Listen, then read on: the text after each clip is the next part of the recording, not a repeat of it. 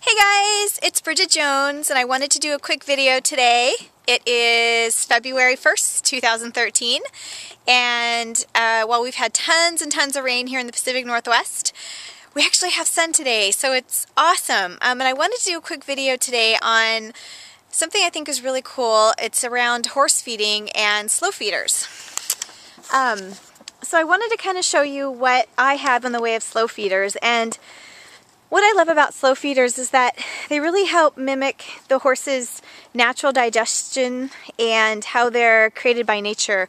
Um, horses are meant to eat, you know, 18 hours out of the day, small amounts for long periods of time, which is the opposite of how we typically feed a horse, which is large amounts for small amount, you know, in small amounts of time. So I did a lot of research. I wanted to see what I could find out there that would really help um, slow down the eating process for the horses. And like I said, I did hours and hours and hours of research, and there's all different kinds of ideas out there. But what I came um, to decide to use are these slow feeder boxes. And I'll just kind of pan out. As you can see, my horses are out in pasture.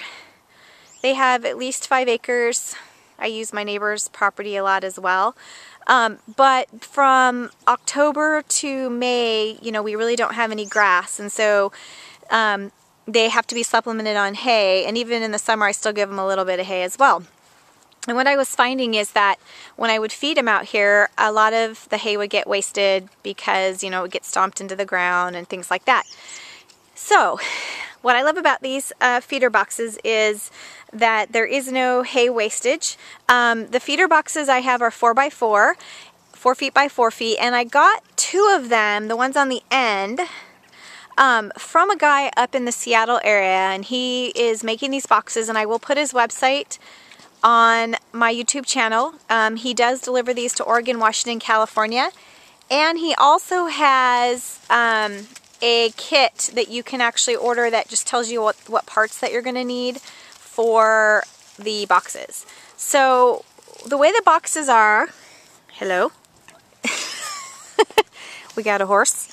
Um, the way the boxes are designed is they're four feet by four feet. And what's so cool about these boxes is you can actually get them in two feet by four feet. So if you have a horse that's stalled, and we all know that stalling is so bad for your horse, but if you must stall your horse, I would highly recommend you get one of these boxes that are two by four, two feet by four feet. They fit right against the stall wall.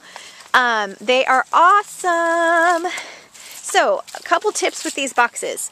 One, you want to make sure that the um, that the wood is not pressure treated because pressure treated wood is not good if the horses were to go and um, you know chew on wood which horses tend to do at times um, let me kind of show you the inside. Now, my boxes are open, as you can see. The way the boxes came were they came with grates, which is what makes them the slow feeding part, are the grates.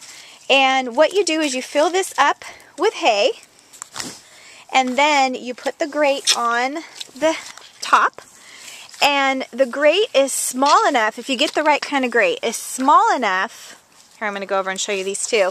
That it takes time for the horse to eat, but not large enough that they can get a hoof through the box, which is really, really, really important.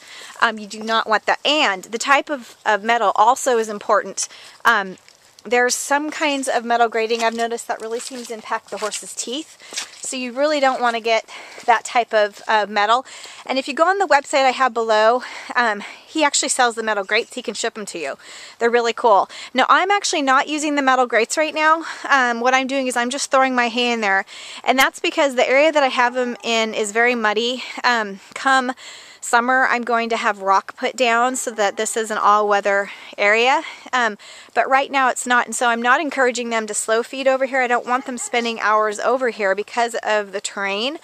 But I am putting hay in here and um, it helps with wastage. We get a lot of wind up here and all the boxes also have holes in them so that uh, for drainage purposes, which is really important. So you can put your hay in there even if it's raining and it'll drain out. Another thing to keep in mind with the metal is really thick hay like um, alfalfa. the really thick alfalfa, uh, coarse alfalfa, doesn't go through the grates as easily. So um, you, what you probably want to do there is if you're going to feed another kind of hay, like just a regular grass hay or a Bermuda, is go ahead and put that on top. I got a horse that wants to get itched. Um, go ahead and put that on top of the um, grates the alfalfa on top of the grates. I'm feeding a really fine alfalfa so I can put mine through my grates, but like I said, I'm not even using those right now. So again, what I love about this is that it uh, simulates the foraging that horses have. They have a foraging need in them. It also helps them with their head down position, which is critical uh, for proper digestion, the saliva and all that other good stuff. So they're putting their head down. Um, it keeps a horse busy if they're in a stall. If they're in a stall, they can have access to food, you know, many hours a day. Mar, stay back. Um, and they um, keeps them so that they're not bored.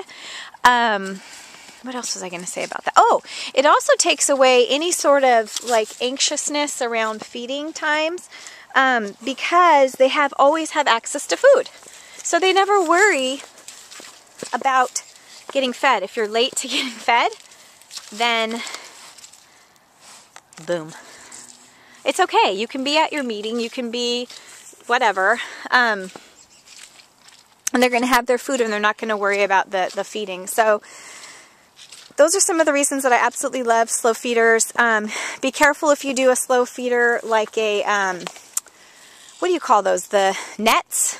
I would be really careful with the type of netting so that the horse doesn't, again, either rip it with their teeth or put a foot through it. Um, that would really worry me. And the grate size is really critical to me too. Um, I've seen some grates out there that are plastic and I just can't think that those are good for the horse's um, horse's teeth. So, that's my video. If you have any questions, please email me. Otherwise, make it a great day.